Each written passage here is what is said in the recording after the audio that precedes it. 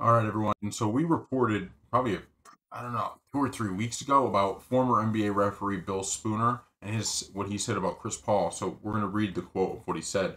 I get asked all the time, who are some of the tough guys, some of the bad guys? And when I tell them that Chris Paul, in my 32 years in the league, was one of the biggest assholes I ever dealt with, they say, not Rasheed Wallace.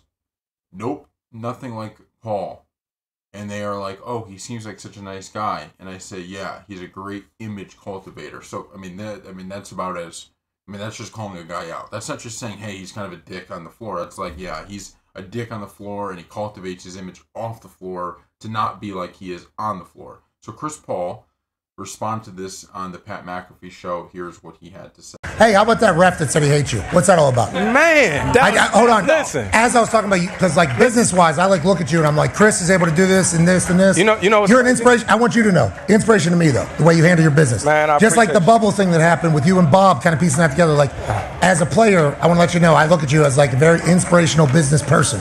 So whenever I I hear that some ref comes out and goes, Chris Paul's a piece of shit. Yeah, you know I what? do not love that. But look, I'm, I'm gonna tell you, listen, it's probably a lot more to feel like that. You know what I mean? Like, I'm, I'm gonna be honest with you, but that ref, uh, I had to look him up when he said, what was his name? Ah, man, we don't know. forget it. Yeah, I had to look him up. But he, he was in the league for a long time, and you probably can guess who one of his homeboys is. Oh, Oh, Yeah, Scotty. But it was funny. Um, he was probably mad that I didn't put him in that last State Farm commercial. the one with the referee. That probably was the case. You know what I'm talking about? Yes. I got Yeah. that State Farm commercial with the referee. Yeah. And he, he probably wanted to be in it No, but you uh, work the refs a little bit. all the time. Yeah. All the time. And hold on, that's you and Scott Foster, right? Every time he refs your game, you don't win.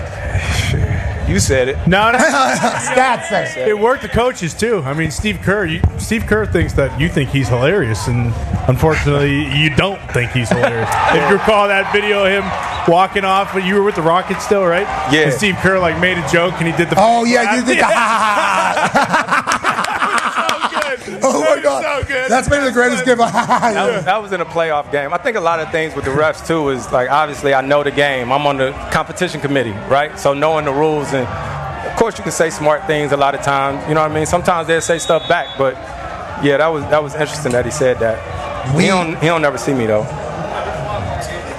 out of nowhere too. He don't never see me though.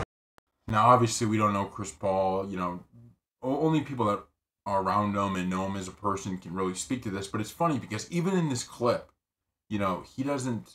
Um, you know, it's not that he's saying, "Oh yeah, I agree with it," but he's like, "Yeah, you know, I work the refs." You know, he's just kind of saying like, "Look, I'm the point guard. I'm the leader of this team. I try to get every advantage I can for my team." And you know, he's continuing his beef with Scott Foster, saying, "Yeah, this guy's with buddies with Scott Foster." and then they bring up in the segment about you know you lose every game that Scott Foster refs, all of those different things.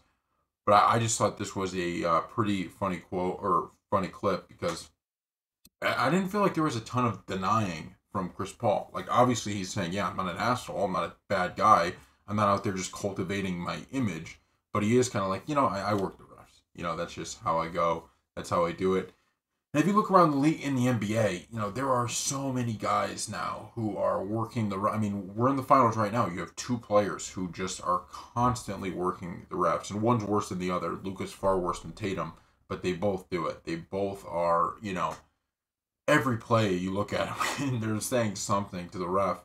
And maybe, like I said, I don't really know what the difference between like, do they think that that's bad versus like, does Chris Paul meet another criteria? Is he worse than that? I don't necessarily know, but um, I mean, just look at Luka's facial expressions. You don't even you don't even have to you you don't even have to go out there and say like uh, you know go look up this game where Luka was bad with refs. It's like look up any game that Luka's played in his career. You're going to see him chirping the refs. I just don't know. Is there a difference between what Chris Paul does and what they do? I don't know. I'd love to hear more from these refs about like what what makes it like. Is it complaining about calls? Is it something he says? Like, what makes this guy, this former ref, Bill Spooner, call him an asshole? And if it's just because, oh, well, he doesn't like my buddy, Scott Foster, then that's kind of, you know, pretty, pretty shady stuff and kind of a ridiculous thing to say somebody is an asshole over that. But, um, I don't know. I just thought this was, this is such a weird story, one you don't expect, but we're bringing it to you. So thank you all for watching. We will see you next time.